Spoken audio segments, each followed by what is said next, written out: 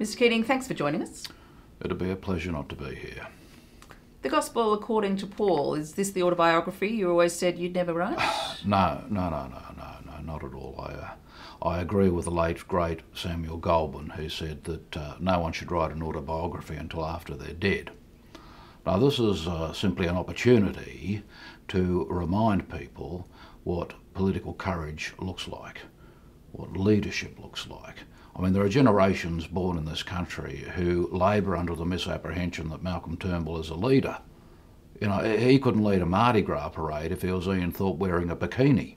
So, no insights into your life, your history? Well, yes, in so much as they provide a context to illustrate the profound depths of my contribution to the public life of this nation. Uh, so basically, we'll be starting at Bankstown, 1944, and going on from there. But don't hold your breath waiting for anything about my family. They are strictly off limits. I signed up for the public spotlight, not them. That glare, that relentless intrusion. I never asked for it, never wanted it. You know, I was talked into doing a, a spread at the lodge for the Women's Weekly. You know, like that was going to help with the recalibration of monetary policy. And those jumpers, Jesus.